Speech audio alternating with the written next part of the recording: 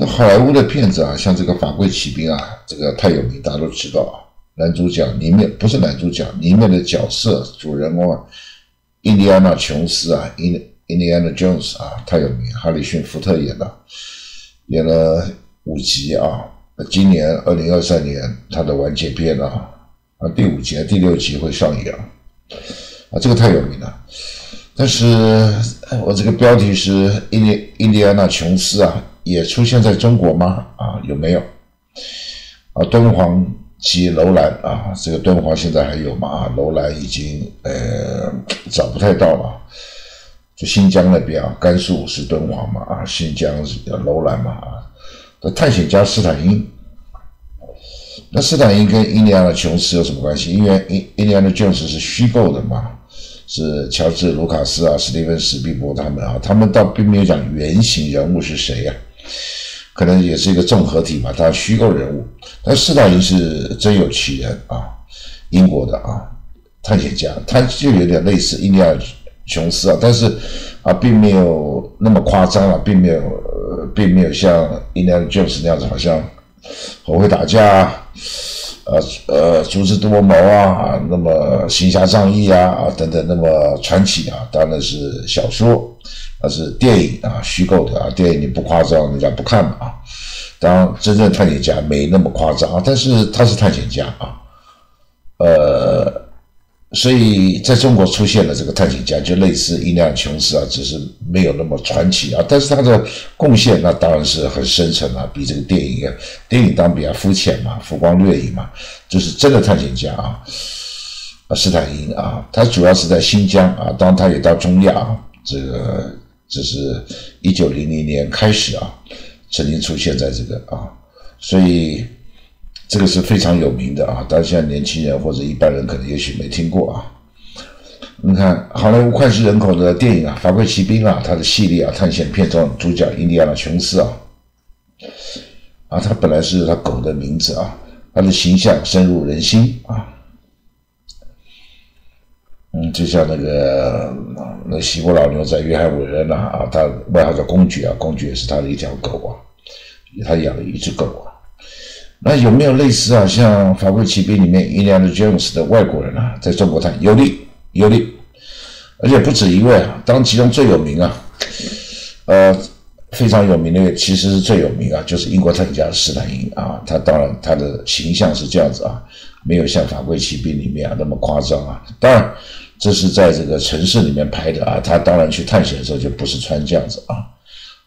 呃，我们先看他几张他的照片啊。啊，图片探险图片啊，然后再讲他为什么啊这么有名啊，啊，这是他探险的其中啊一部分啊，就中国境内啊，啊，待会中亚待会看啊，就是这边就是啊，以甘肃开始啊，一直到新疆啊，呃，还有陕西啊，它最有名就是这一块啊，这个点啊，这个敦煌啊，敦煌这个点。我们先跳过去，这样讲比较快了啊。就是敦煌啊，我们看跳到这边来看好了，这样子比较清楚一点啊。就是呃，敦煌啊，呃，它这个哈，因为敦煌当时早期啊，南北朝那个时候啊，就是大兴佛教啊。那当然了，就是有那个有各种那个石雕啊，这个呃。敦煌有很多窟啊，佛教的窟啊，那窟是带不走啊。可是它里面啊有很多宝贝啊，就是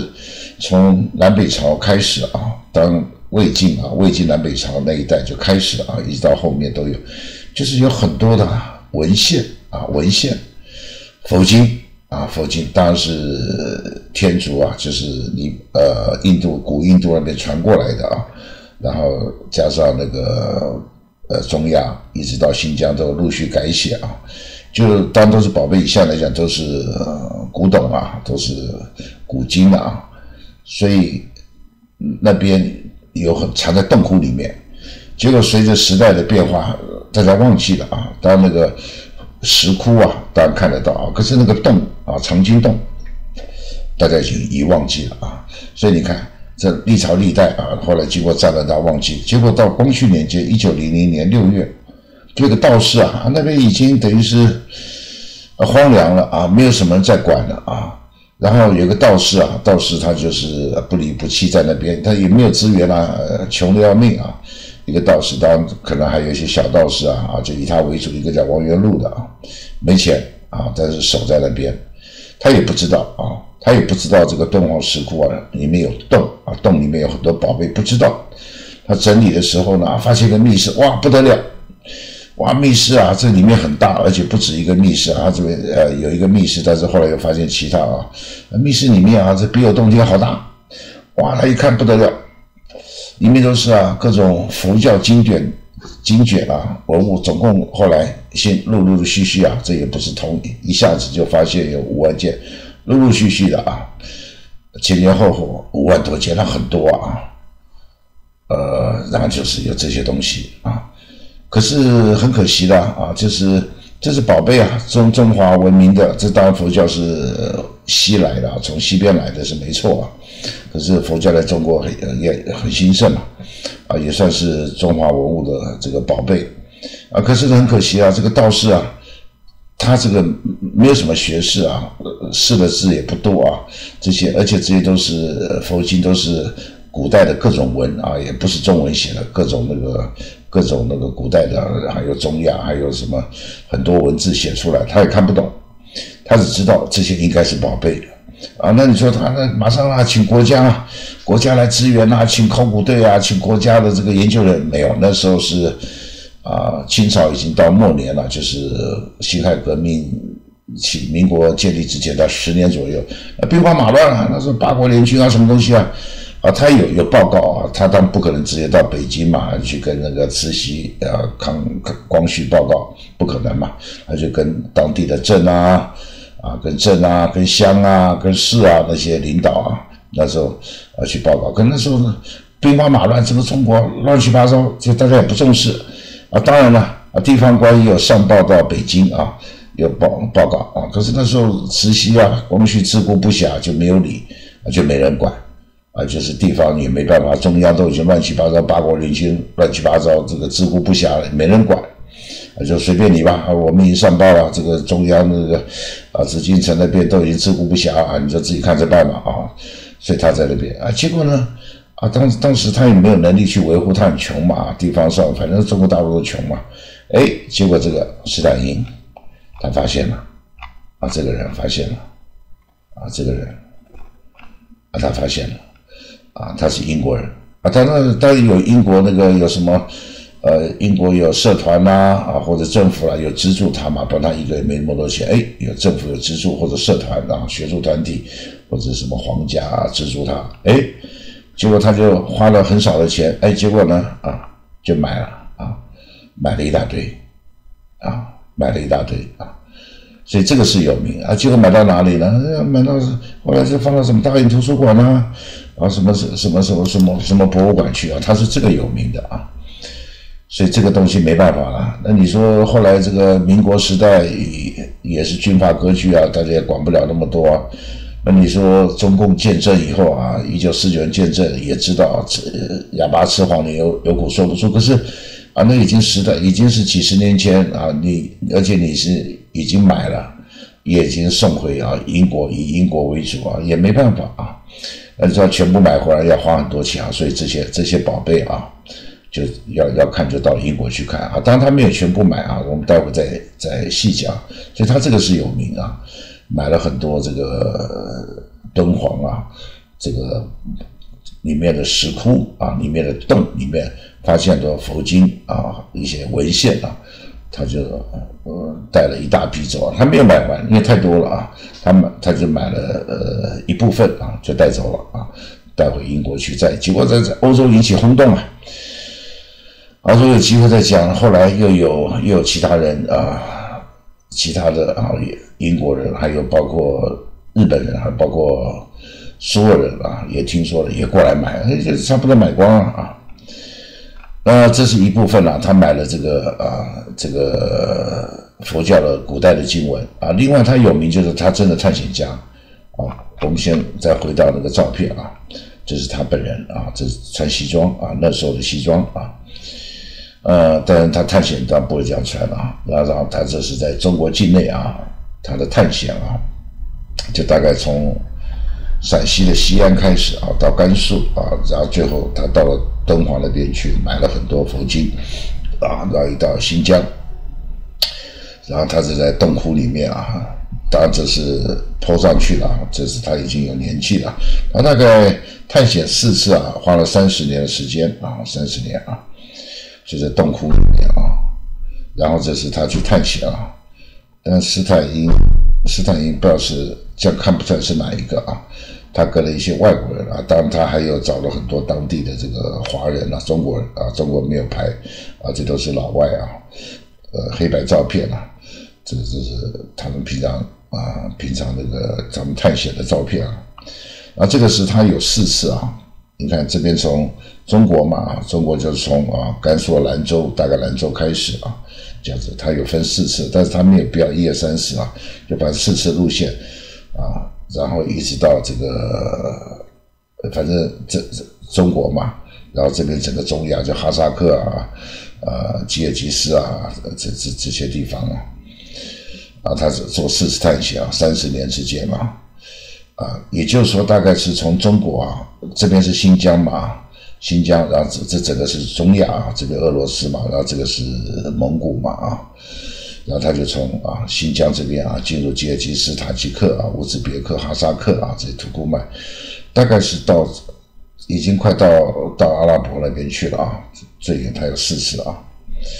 那我们先来看啊，先跳到这边来看，他四次探险啊，所以他是有点像那个《法国骑兵》里面的印第安的琼斯，印第安的 Jones 啊。你看这个探险啊，啊，第一次第一次探险啊，一九零零年就是辛亥革命啊，民国中华民国成立前十年啊，第一次啊，他发发掘了啊新疆啊和田在新疆那边产油嘛啊，和田地区啊。他发掘那边啊，因为那个时候都是都有古代文明啊，可是经过呃，因为那边有有这个风沙很大，有些就是沧海桑田嘛，有些就被风沙盖住了啊，找不到啊，然后后来他就重新发现发掘和田地区啊，还有一个古代的尼雅遗址啊，取得巨大成功，哇，这不得了啊，中国都不知道了。当为什么叫新疆呢？啊，因为清朝左宗棠啊，啊，他是征服了新疆，然后取名，然后皇帝说，那那这个这个地方叫什么名字嘛？啊，可能当地当地人说我们是维吾尔啊，啊，可是汉人嘛，不能叫维吾尔，就叫新疆啊，新开辟的疆域，所以叫新疆，啊，那个。那新疆人有的搞不懂嘛，啊，因为那边比较落后啊，然后有很多风沙盖住了啊，所以他这边就根据根据当地的传说啊，啊去考古队挖掘啊，就发现啊，重新挖掘了和田啊，还有尼亚古代尼亚遗址啊，然后他就写成了去中国，这是当然写给英国人看嘛，欧洲人看，去中国突厥斯坦啊，因为他们新疆做维吾尔啊，那到了中亚他们叫突厥人 Turk 啊 Turk。所以像那个土耳其也是 Turk 跟 Turk 有关系啊，呃，从事考古跟地形考察初步报告，哦，结果这个在欧洲引起了很大的轰动。那当然你写一个书啊，就已经够轰动了。他就带了一大堆佛经啊，哇，这外国人就是对历史啊，这个历历史圈呐、考古圈呐，就引起了极大的回响。人类的宝藏嘛，而且花很少的钱就买了一大堆啊。他也写了。沙埋和田废墟记，这是一个废墟嘛？啊，正式报告是啊，古代和田啊，他第一次大概是这样。啊，那结果你看，第一次是一年吧，一九零到一九零啊，他当然要回去嘛，要写东西嘛，要报告嘛，要休息一下嘛，然后要准备钱嘛，要准备第二次啊，就第二次隔了五年了啊，到一九零六年啊，到一九零八年，这次就就大概两年左右啊，这次的收获就丰富了。啊，第一次他没有带什么东西，他只发现一些遗址啊。然后第二次，呃，他就带带带礼物、带宝贝回来了啊，就发现古楼兰啊，楼兰是古代啊。我们也是讲中亚了，其实是中国境内的中亚啊。因为古代啊，那个新疆那一带有很多的，我们叫西域啊，这中国话叫西域啊。西域在过去就是中亚啊。那什么叫西域呢？就是我们讲的唐。唐三藏，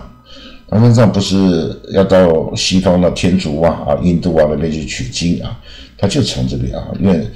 因为那个玄奘他本姓俗姓陈啊，尔东陈啊，姓陈，那玄奘啊他就呃。他就是呃，应该有随从吧？可是，一般是讲他一个人，一个人怎么去呢？应该是有有有有几个跟班的嘛。啊，不管了，我们就说玄奘一行人好了，因为我觉得一个人不不太可能啊去，还要背东西啊，还还要带着，还要回来啊。那所以那个他就玄玄奘啊，唐唐三藏取经啊，就从西安啊，然后经过新疆、中亚啊，就差不多那条线啊。啊，其中当然经过古代楼兰，啊，所以那边很多古代的啊这些小王国吧。那后来啊，就是那个历史历史上面有记载，那现在找不太到了。为什么？沧海桑田嘛，那个有那个大大风暴嘛，沙尘暴嘛，就盖掉了。所以很多电影也也演这个啊，就发发掘了发掘出来古代楼兰的遗址啊，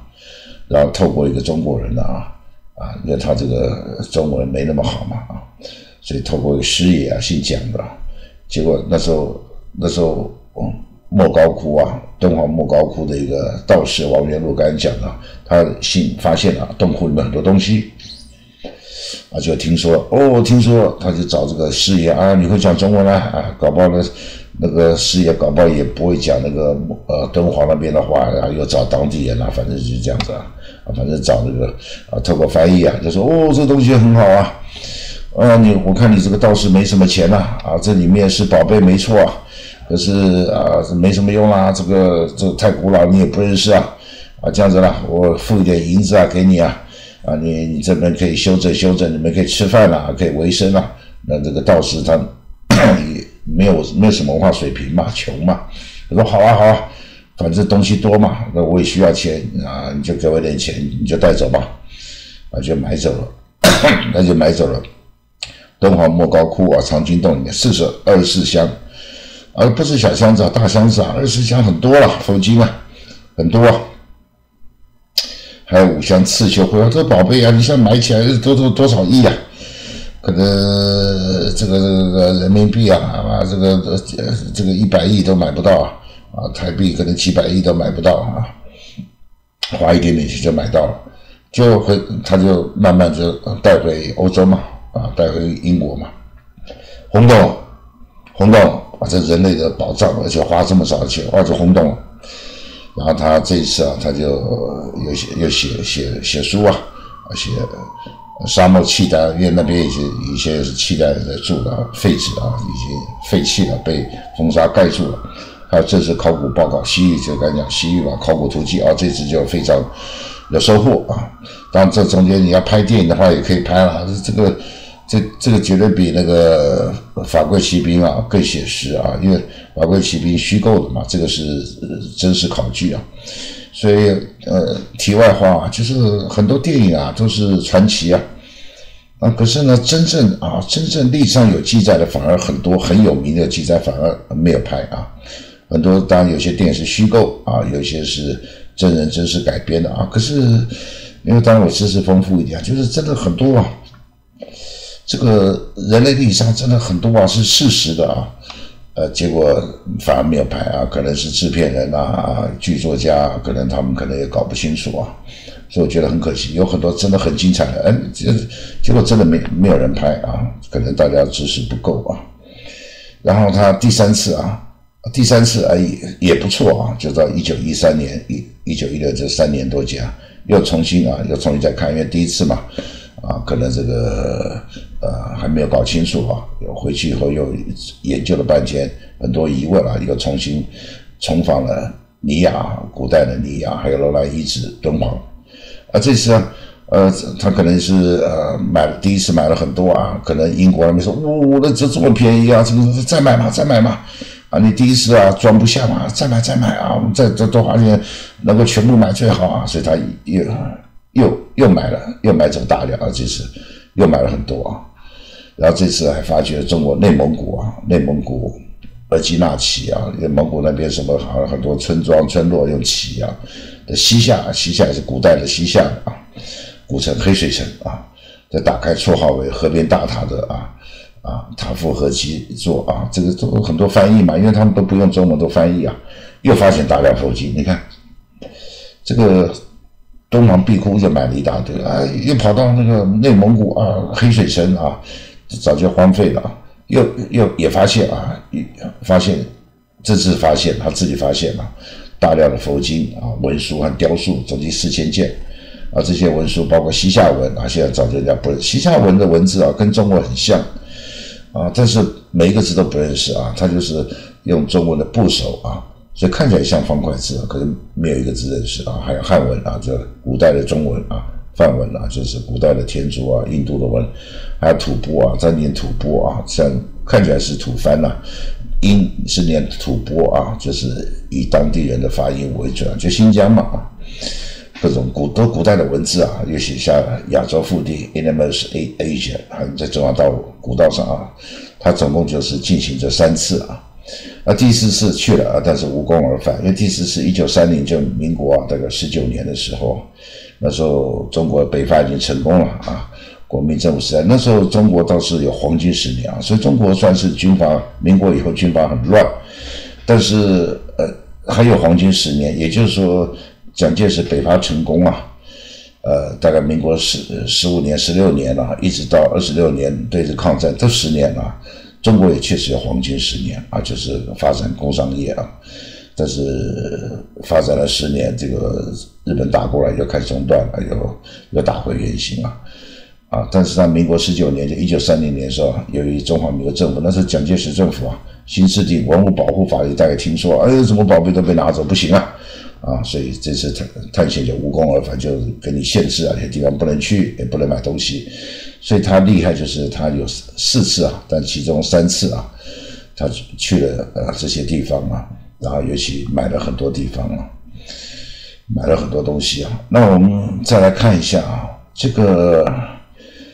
因为它的重点啊就是两个嘛，一个就是他曾经啊这个探险四次啊。然后一直到中亚的最西边啊，包括中国大陆啊、新疆、内蒙古这些地方。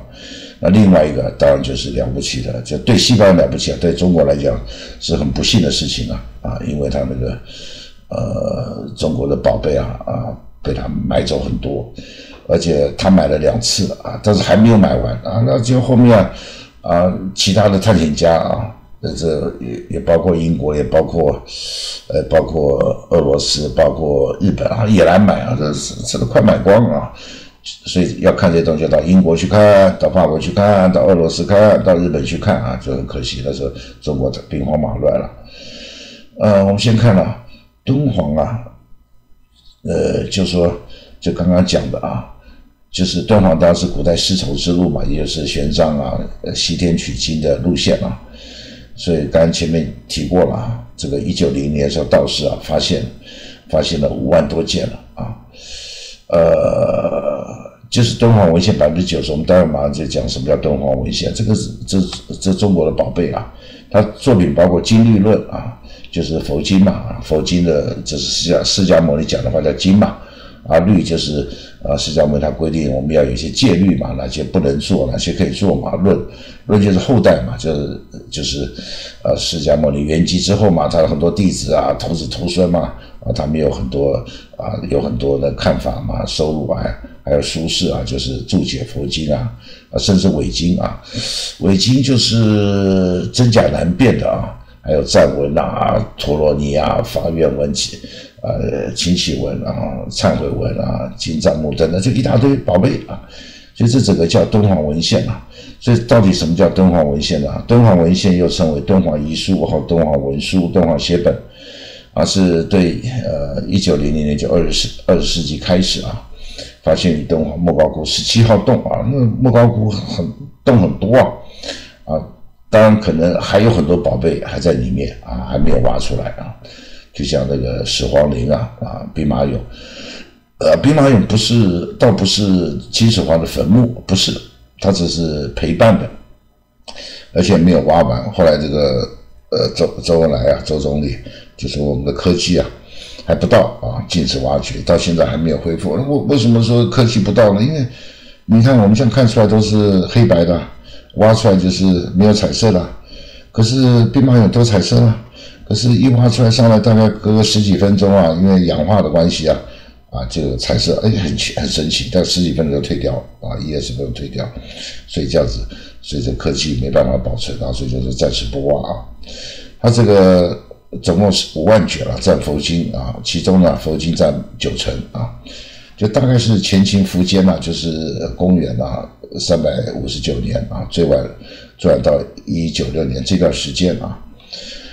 这敦煌文献，但可惜了啊，这个可惜了啊，这个因为这个斯坦因啊买了两次啊，后面有其他的外国也买了啊，就是大部分都买买光了啊。这图书犹犹太裔啊，他是斯坦因啊，他是英国人，他的原籍啊是波兰啊，所以他是波兰裔的，但是他真正的血统是犹太裔啊，因为犹太裔跟那白人看起来差不多啊。所以目前敦煌文献分散在全世界啊，因为我前面讲过啊，它除了是英国啊买了以外，俄罗斯也买啊，这个法国也买啊，这个日本也买啊，所以啊散落在大英图书馆，当大英图书馆最多啊，呃当然这边没有写，应该大英博物馆也有啊，图书馆跟博物馆是两个不同的，法国国家图书馆啊，啊因为这个。因为它这个是以经书为主啊，所以图书馆可以摆啊。如果是器物的话，就摆在大大英博物馆啊。所以它是越是越都是金马啊文字的，所以摆在图书馆比较多啊。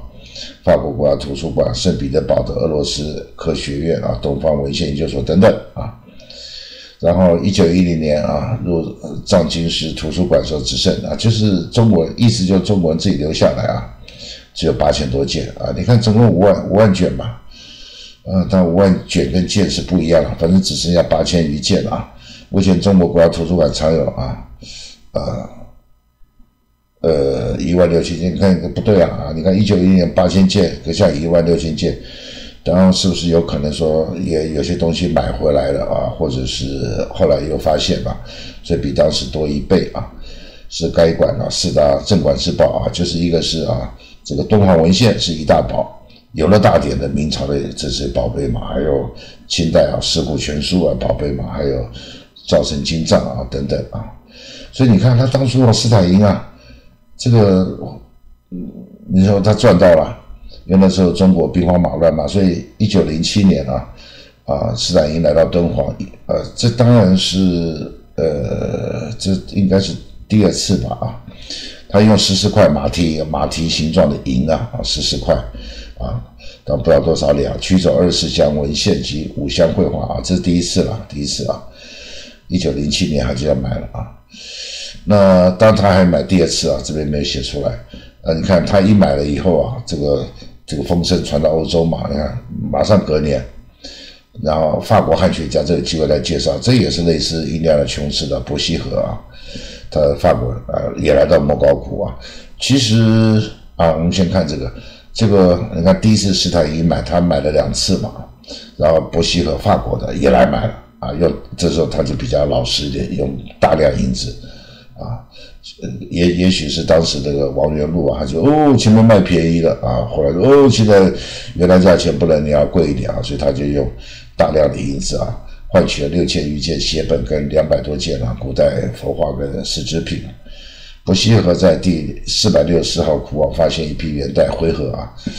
我们以前回纥是别的字啊，但他们是用这个纥这个字念纥，回纥嘛就新疆那边古代民族当的文字回纥文啊，这个我们现在看不懂啊，买了。当然这边没有写的就是啊，这个施泰因买了两次啊，法国这个伯希伯希和买了一次，接下来呢，俄罗斯的也来买了啊，再接下来啊，日本人也来买了啊。所以它是这整个情况啊，所以我们将整个架构都了解哈，我们就说啊，呃，它就是这边啊，主主要就是啊，这整个中国大陆地图嘛啊，当然它是从那个西边过来嘛，西方人嘛，西边啊，但是它是从那个啊，从那个西安啊，陕西的西安，古代叫长安啊，这个知道啊，我把这个图啊放。放大一点好啊，西安陕西嘛啊，西呃古代叫长安嘛，唐朝的首都长安啊，所以玄奘唐朝藏就从从这个古代的长安就向着西安开始往西走嘛啊，所以陕西嘛，还是走到甘肃啊，甘肃酒泉张掖、武威敦煌嘛，兰州在这边，兰州拉面嘛，但兰兰州拉面不怎么样，那个牛肉太少了，太薄了，不好吃啊。但是也偏辣啊，在碗很大啊，啊，甜水嘛，《三国演义》里面很多甜水啊。然后接着啊，就到了呃敦煌啊，甘肃的最西边敦煌啊，这边敦敦煌石窟啊，这边就买了很多的呃佛经的经卷啊。然后他再往西边走，那西边走的话呢，啊，我看啊，啊，所以这是他几条路线啊。你看这边从兰州嘛，啊，西安这边没写出来，这个一直过来，他是四次嘛，啊，美食路线啊不同，很复杂啊，这样子一直走啊。啊，最多最最远到西亚，快到快到阿拉伯了，所以这边你看有些地名现在知道嘛，中原王朝在这边嘛，啊，就是满清末年嘛，甘肃兰州知道嘛，张掖嘛，还有内蒙古的黑水城这个知道嘛，玉门关玉门知道嘛，啊，这安西就是不是西安了，这安西都护府嘛，以前汉朝莫高窟就在这里啊，这埋了很多啊，莫高窟敦煌在这里嘛啊。啊，乌鲁木齐这个我们也知道嘛，还有高昌古古代的啊楼兰啊已经被风沙盖盖盖住啊，这些大概都知道嘛。然后也就是大概就是这样子啊，从中国啊，从那个西 西安、陕西、甘肃，然后到了他四次嘛啊，就是他路线包括啊吉尔吉斯啊、哈萨克、乌兹别克、塔吉克、土库曼，大概最远啊四次，大概到这里啊。好，那我们再来看这个斯坦因啊，斯坦因是什么样的人啊？斯坦因啊，我们看看啊，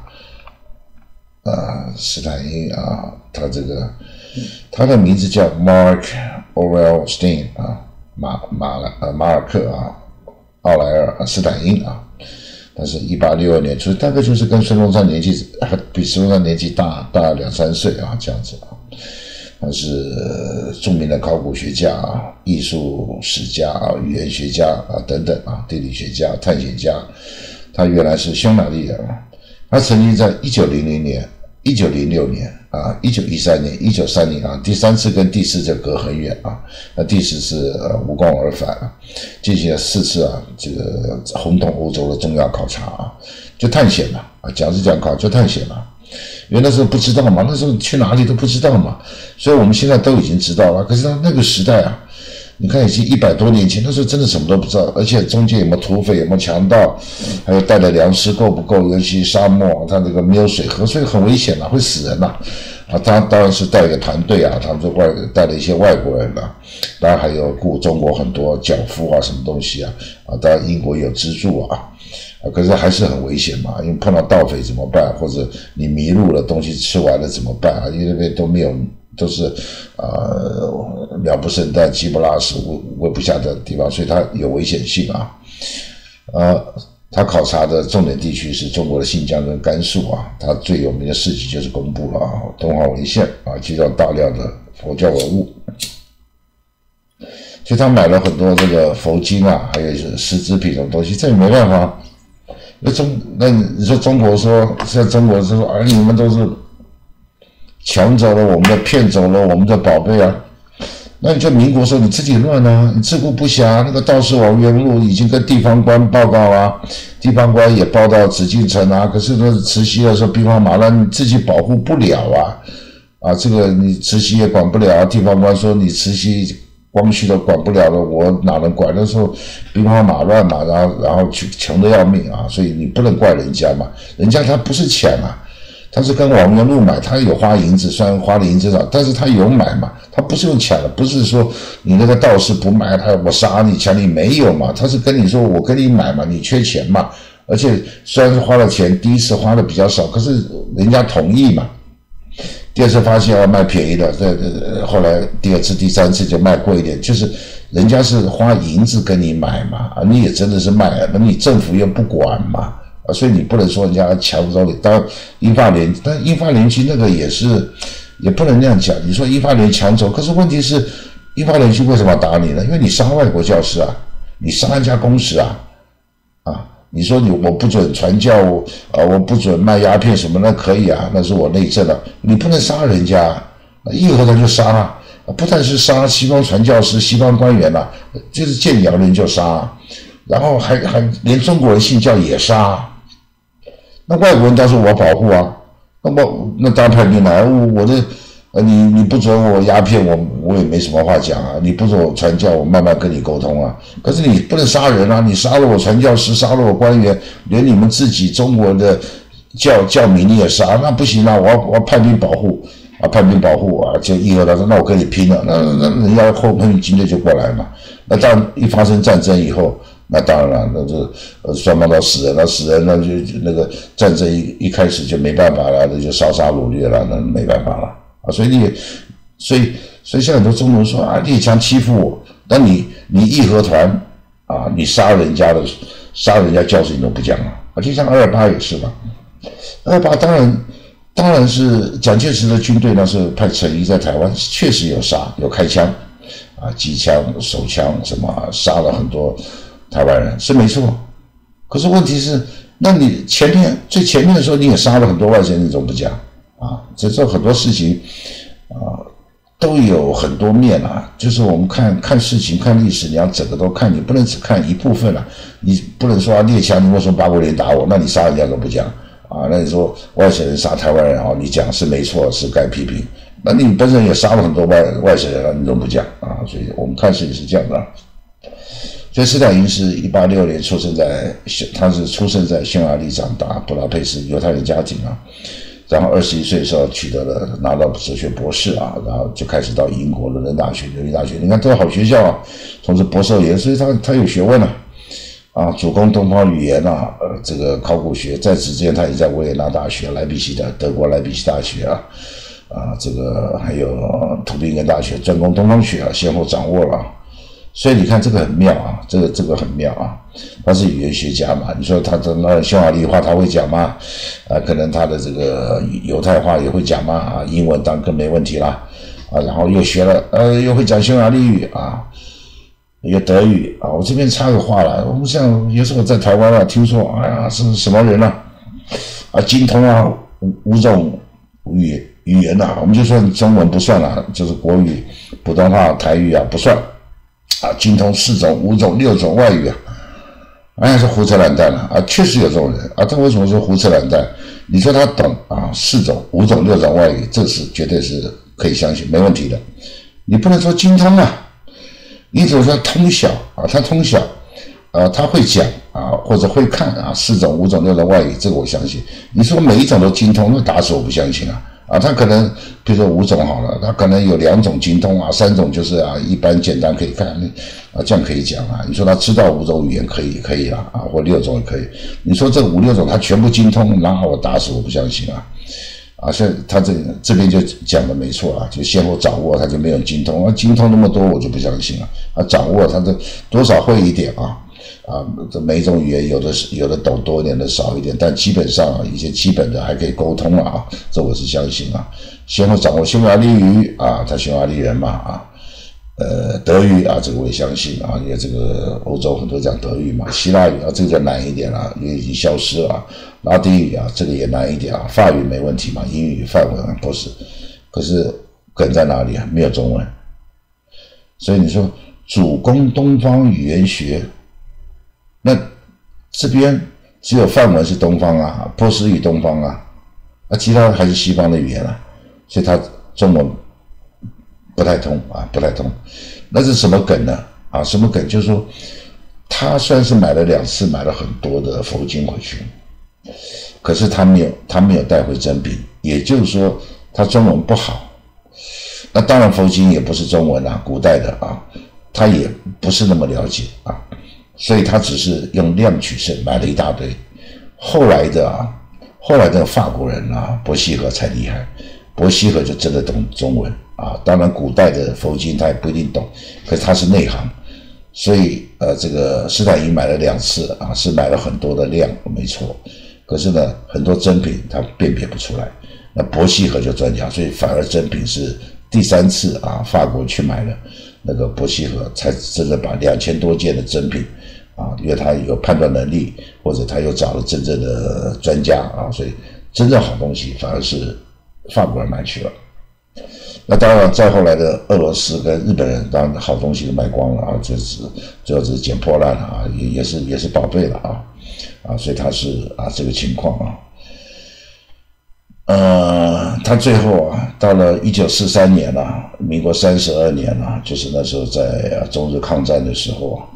啊，那也是整个中国乱七八糟。中国除了黄金十年啊，那中国就没有就没有太平过啊。那说中中共建政以后就好嘛，也不好啊。中国建政以后有什么三面红旗啊、文化大革命啊，这天灾人人祸啊，这么很多这个。呃，大大洪水、大饥荒，那简直没好过啊！真正好过是，反正邓小平改革开放以后啊，还比较好。可是好了以后，经济是好了，又完了，为什么呢？又开支大，讲是讲和平崛起啊，一点也不和平啊！所以现在又，所以改革开放后，中国大陆呃过得是比较好。可是又开始出现很多问题，现在就变全民公敌了啊！所以中国像好朋友，欧美主流观都没有了，都讨厌他了啊！剩下俄罗斯啊，俄罗斯是全世界喊打了啊！北韩呢，北韩全世界喊打了，伊朗全世界喊打啊！就是啊，这是中国就这些国家，要么就是小朋友啊，什么“一带一路”都是这些啊，这个第三世界啊，这个开发中国家，所以要么就是。中国像朋友，第一个啊，第一类就是俄罗斯啊，啊，伊朗啊，北韩这种啊，就就就是西方世家流氓国家啊。另外就是小弟弟小妹妹啊，啊，他最后在一九四三年最后一次考古第四次的时候啊，因为感冒发烧啊，就导致支气管炎，然后年纪又大，八十一岁了，就中风啊，就死在考察路上，遗体也没有也没有运回啊英国加克布尔。在阿富汗的喀布尔那边，就是呃，在一个基督教墓地就埋在这边啊，所以这一集啊，就是让大家啊，这个了解一下啊，就是标题当然比较夸张一点了，像伊利亚琼斯啊，在某些方面也没错，伊利亚琼斯倒是探险家嘛，考古家嘛，历史学家嘛，啊，这个斯坦因也是啊。当斯坦因的成就比伊利亚琼斯大多了啊！伊利亚琼斯当然也虚构了，这真有其人啊！这四次探险啊，尤其前面三次不得了啊！然后又带回买回来大量的啊，对中国来讲是一个巨大的损失啊！对西方来讲哦，很多宝贝，所以这个是历史上的探险界的一个传奇人物啊！当然他是第一个啊，当然后来伯希和也不错啊，有机会再介绍一下这集讲真。